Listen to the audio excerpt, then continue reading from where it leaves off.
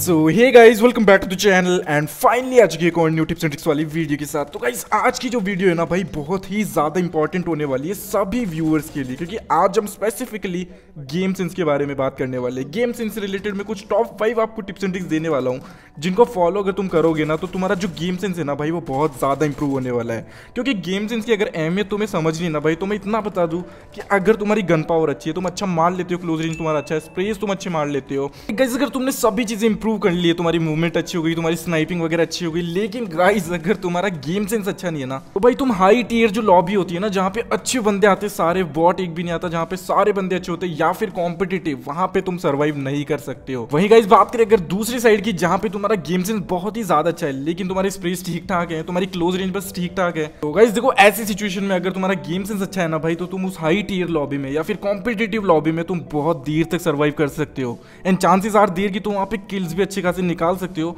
अगर तुम्हें पता हो कि मैं यहाँ से रोटेट करके जाऊँगा, यहाँ से मारूँगा तो मैं अच्छे किल्स उठा सकता हूँ। तो ये सारी जो चीज़ें है ना भाई, ये गेम सेंस के अंदर आ जाती है। तो गेम सेंस के ऊपर आज की वीडियो होने वाली है। लाइक कर देना वीडियो को शेयर कर देना अपने दोस्तों के साथ में।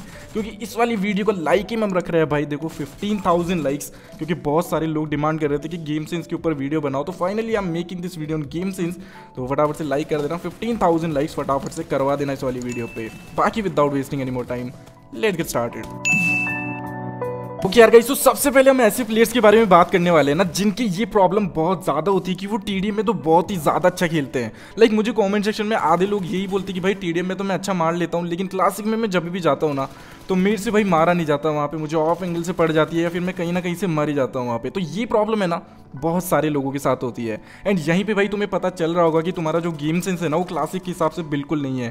क्योंकि टीडीएम में एक छोटा सा मैप होता है और तुम्हें सारी जगहों का पता रहता है कि यार यहाँ से मुझे पड़ सकती है, यहाँ से मैं कवर ले सकता हूँ। तो टी में अच्छा खासा मार पाते हैं। लेकिन क्लासिक में क्या होता है ना भाई, देखो सारी तरफ़ से लिटरली तुम्हें गोलियाँ पड़ सकती है।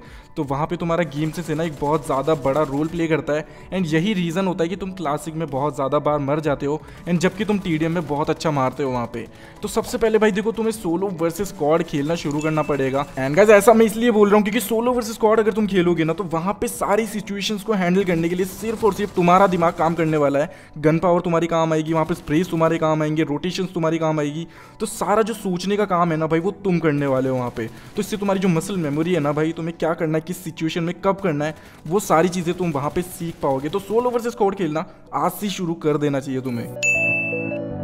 तो गाइस अगले पॉइंट की अगर बात करें तो यहाँ पे हम पेशेंस की बात करने वाले हैं, जो कि गेम सेंस के अंदर बहुत ही ज़्यादा एक बड़ा रोल प्ले करता है। टीपीपी तुम कितनी देर तक कहाँ पे ले रहे हो, ये बहुत ज़्यादा एक बड़ा रोल प्ले करता है। अब यहाँ पे तुम देख सकते हो, मैं टीपीपी लिया एंड मुझे पता चला बंदा आ गया एंड देन मैं फटाफट से वहाँ पे रश कर गया। लेकिन गाइज़ अगर मैंने यहाँ पे टीपीपी नहीं ली होती और मैं सीधा अंदर घुस जाता तो यहाँ पे ये जो बंदा लेटा हुआ है ना भाई, ये डेफिनेटली मुझे खा जाता है यहाँ पे। तो ये चीज़ है ना भाई, बहुत ज़्यादा मैटर करती है कि तुम अच्छे से पेशेंसली सोचो सारी सिचुएशन को, पहले ऑब्ज़र्व करो कि हाँ यार, यहाँ पे भी बंदा हो सकता है, इसके पीछे भी बंदा हो सकता है। और फिर गाइज़ अगर तुम रश करोगे ना तो डेफिनेटली भाई वो फाइट जीतने की जो चांसेस है ना, वो तुम्हारे लिए बहुत ज़्यादा बढ़ जाएँगे। तो पेशेंस है ना भाई, बहुत ज़्यादा एक बड़ी चीज़ बन जाती है। कॉम्पिटेटिव में तुम देखते होंगे कि बहुत सी बार है ना, लोग बाहर जोन के बैठ के हील बैटल करते हैं। एंड भाई उनको कितना मन करता होगा, सोचो उनके सामने से पूरी स्कॉट जा रही होती है, लेकिन फिर भी भाई वो मारती नहीं है, वो अपनी हील बैटल करते रहते हैं। तो ये होता है भाई पेशेंस तो पेशेंस होना बहुत ज़्यादा इंपॉर्टेंट हो जाता है।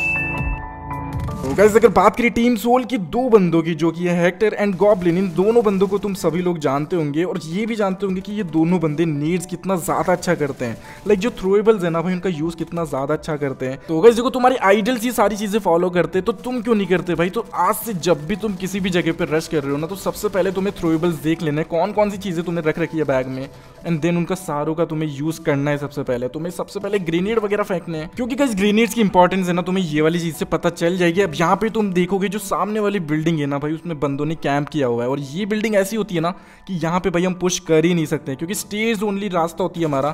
और वहाँ से अगर मैं जाऊँगा तो डेफिनेटली भाई बंदा मुझे मार देगा। तो यहाँ पर तुम ऑब्ज़र्व करो कि भाई मैं कितने ज़्यादा नीड फेंके जा रहा हूँ। मैंने सारी जगह नीड करके देखा।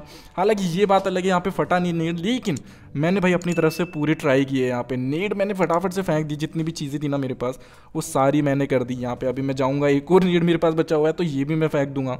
तो भाई इससे पता चलता है कि तुम्हारा गेम सेंस कितना ज़्यादा अच्छा है। ऐसा तुम ओवर कमिट करके अगर खेलोगे ना तो भाई तुम कोई भी बॉट लॉबी में तो सर्वाइव कर जाओगे, लेकिन जहाँ पे अच्छी लॉबी आएगी ना, वहाँ पे भाई तुम सर्वाइव नहीं कर पाओगे। तो थ्रोएबल्स का यूज़ करना एक बहुत ही ज़्यादा इंपॉर्टेंट चीज़ हो जाती है। तो आगे से किसी भी बिल्डिंग पे रश कर रहे हो सोलो वर्सेस स्क्वाड खेल रहे हो तो सबसे पहले मॉली नीड वगैरह का तुम्हें अच्छे से यूज़ कर लेना है।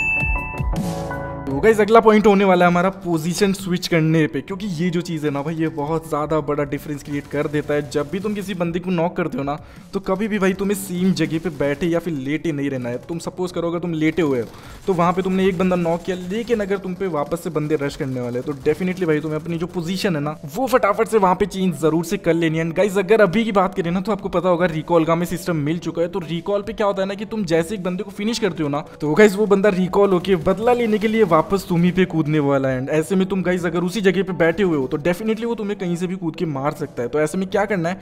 फटाफट से तुम्हें लूट कर लेनी है, उन बंदों को लूट लेना है फटाफट से। एंड देन जो पोजीशन है, जो अपनी जगह है, वो तुम्हें फटाफट से चेंज कर लेनी है। एंड जैसे वो बंदा कूदेगा ना वहाँ पे तो तुम भी हो सकता है कि उसे मार सकते हो वहाँ पे। तो आई नो गाइज़ देखो मैंने top five tips and tricks के लिए तुम्हें बोला था। लेकिन यार, आज मेरे पास जो है टॉप फोर ही टिप्स एंड ट्रिक्स हो पाई है, क्योंकि मैं एक वर्दी वीडियो बनाना चाहता था, जिससे तुम्हें सच में फ़ायदा हो। बाकी मैं गेम्स से रिलेटेड और भी वीडियोज़ बनाने वाला हूँ। शायद चार से पाँच वीडियो आने वाली है। तो अगर तुम चाहते हो कि मैं इनके ऊपर और भी अच्छी अच्छी टिप्स एंड ट्रिक्स बनाऊँ तो डेफिनेटली मुझे कॉमेंट सेक्शन में ज़रूर से बता देना, ताकि मुझे पता चल जाए कि हाँ यार, बहुत सारे लोगों को इस चीज़ की ज़रूरत है। तो मैं डेफिनेटली इन पर वीडियो ज़रूर से बनाऊँगा। बाकी आज की वीडियो अगर पसंद आई है तो लाइक इसको ज़रूर से कर देना शेयर कर देना अपने दोस्तों के साथ में एंड चैनल को सब्सक्राइब ज़रूर से कर लेना ऐसी टिप्स एंड ट्रिक्स वाली वीडियोस के लिए, जो कि तुम्हारी गेम प्ले को इंप्रूव करने में तुम्हारी हेल्प करती रहती है। बाकी मैं मिलता आपसे वीडियो में, तब तक के लिए goodbye love you guys keep grinding